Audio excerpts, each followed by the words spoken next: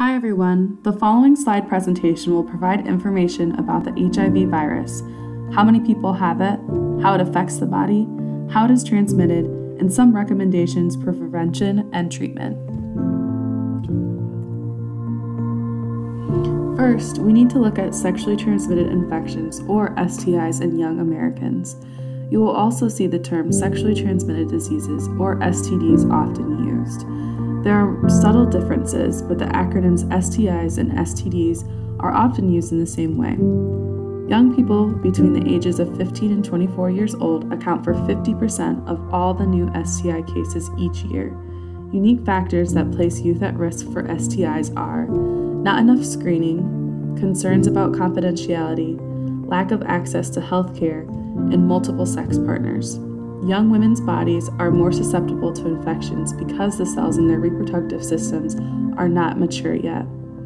Young people experience sexually transmitted bacterial infections like gonorrhea and chlamydia and viral infections such as HPV and herpes. This presentation will focus on the virus HIV.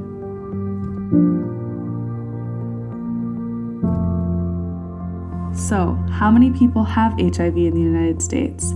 It is estimated that 1.1 million people had HIV at the end of 2016. Of those, about 1 in 7 did not know that they had it. In 2018, almost 38,000 people were diagnosed with HIV.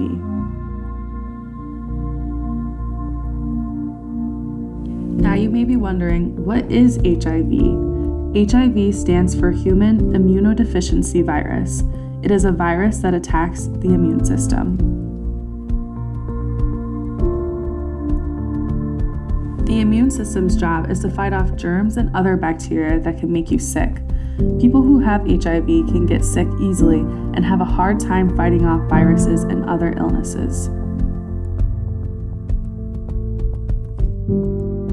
Eventually, HIV can progress to AIDS, which stands for Acquired Immune Deficiency Syndrome. HIV is the virus, and AIDS is what the virus can lead to. A person with AIDS is open to many deadly diseases called opportunistic diseases. Because their immune system is weak, they can't fight off these illnesses. People with AIDS can develop pneumonia and even cancer. How do you get the HIV virus? HIV is passed through the exchange of intimate bodily fluids from an infected person. There are a few myths that need to be cleared up. HIV is not passed through saliva, urine, sweat, or the air.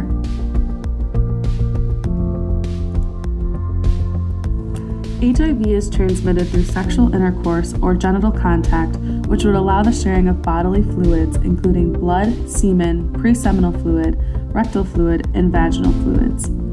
HIV can also be transmitted by sharing a needle with an infected person during IV drug use or from an accidental needle stick. HIV can also be passed from a mother to her baby through breast milk.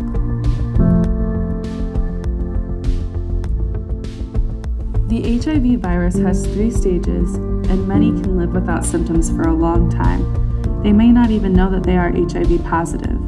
There are three stages. Stage one is called acute HIV infection.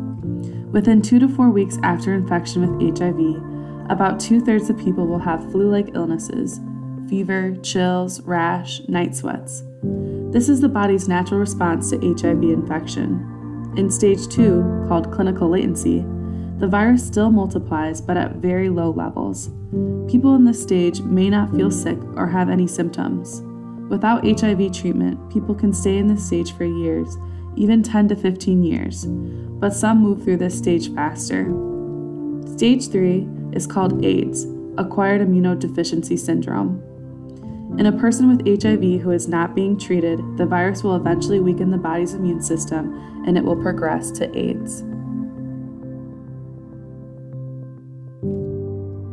It is very important to understand how to prevent getting HIV and other STIs. The only 100% effective way to avoid sexually transmitted infections and HIV is to not have sex. That includes vaginal, anal, and oral sex. Remember, not having sex is the best way to prevent getting HIV. However, if you are sexually active, you can do the following things to lower your chances of getting STIs and HIV. You can choose less risky sexual activities. For example, anal intercourse shows the highest risk, especially for the receiving partner. Using a new condom for every act of vaginal, anal, and oral sex throughout the entire sex act from start to finish. Using a condom will reduce the risk of HIV by about 85%, but will not eliminate the risk. The effectiveness of condoms for other STIs is even lower. If you are sexually active, reduce the number of people who you have sex with. Limit or eliminate drug and alcohol use before and during sex. Being under the influence can affect your ability to make and carry out decisions to protect or prevent exposure. Have an honest and open talk with your healthcare provider and ask whether you should be tested for STIs or HIV. Find out if PrEP, pre exposure medications, would be a good option for you. There is no known cure for HIV or AIDS, but people with HIV can take medicine to slow down the progression of the disease. There are some new treatments which are showing great promise to helping those who have HIV to live healthier and longer lives. There is much excitement and hope these days for those who have been infected with HIV because of the improvements in treatments available. A combination of drugs that is showing promise is antiretroviral therapy, or ART. ART can keep a person healthy by reducing the viral load, which is the amount of the virus in the blood and body fluids, to a very low level. After at least six months of treatment, it has been shown to reduce the chance of transmitting the HIV virus, However, it should be noted that ART does not work for other sexually transmitted infections. Common question we are often asked is about the law and HIV. Michigan law still requires that a person living with HIV notify a sex partner of their HIV status prior to having sex. If a person is sexually active, it is important to know if they are HIV positive. How do you know if you have HIV? The only way to know if you have HIV is to get tested. Most people with HIV do not have symptoms, although they may feel like they have the flu at the beginning. So you need to be tested in order to know. An HIV test is done by drawing a sample of someone's blood or through a finger prick. It can also be tested through saliva or urine. People used to have to wait weeks for their results, but now we have rapid testing that can tell them their results within the same day. There are several different places you can get tested for HIV. You can start with your own doctor or call the Kent County Health Department to get tested. There are other clinics in the community, such as the Pregnancy Resource Center, where you can also get free or no cost testing and treatment.